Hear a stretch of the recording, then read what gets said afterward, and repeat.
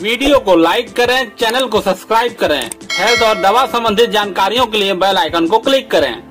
नमस्कार दोस्तों, मैं दीपक कुमार, आपके अपने YouTube channel D R X Kunj पर आप सभी का हार्दिक स्वागत करता हूँ। आज हम लोग ओमनी जेल के बारे में जानेंगे। ओमनी जेल क्या है, क्यों यूज़ किया जाता है, इसका कॉम्बिनेशन क्या है, इसका बॉडी में प्रभाव कितने समय तक रहता है, ओमनी जेल के यूज़ में किन किन सावधानियों का ध्यान रखना चाहिए और इसका साइड इफ़ेक्ट क्या क्या है।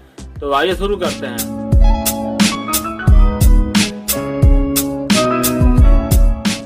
Omni gel Cipla limited company की ब्रांडेड मेडिसिन है।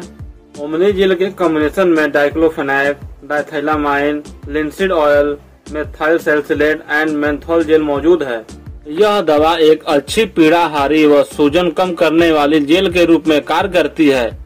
आइए इसके यूज़ के बारे में जान लेते हैं। ओमनी जेल का मुख्यतः उपयोग एक प्रबल पीड़ाहारी व सूजन कम करने वाली दवा के रूप में कार्य करती है। इसके अलावा इसका उपयोग मांसपेशियों में दर्द हो या गर्दन में दर्द हो तो इस जेल का यूज़ किया जाता है।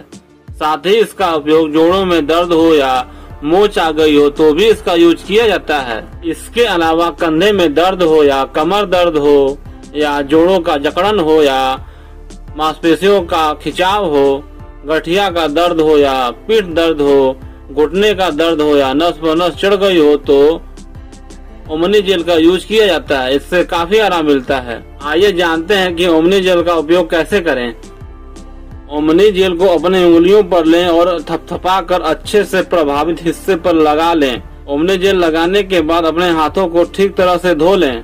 आइए अब जानते हैं कि ओमनी जेल के यूज़ में किन किन सावधानियों का ध्यान रखना चाहिए। प्रेगनेंसी में इस जेल का यूज़ डॉक्टर के परामर्श से ही करना चाहिए।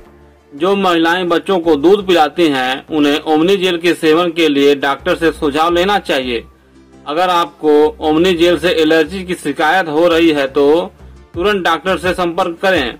ओमनी जेल के अत्यधिक उपयोग से बचें। डॉक्टर ने जो निर्धारित मात्रा बताई है, उसका सख्ती से पालन करें।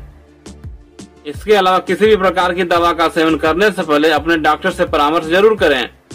आइए अब इसके प्रभाव के बारे में जान लेते हैं। ओमनी जेल का प्रभाव प्रभावित स्थान पर तुरंत प्रभाव करता है। आइए अब इसके साइड इफेक्ट्स के बारे में जान लेते हैं। ओमनी जेल का लगाए गए स्थान पर कई तरह के साइड इफेक्ट्स हो सकते हैं, जैसे स्किन पे एलर्जी होना स्किन पे खुजली होना या त्वचा का लाल हो जाना, ये सब साइड इफ़ेक्ट हो सकते हैं।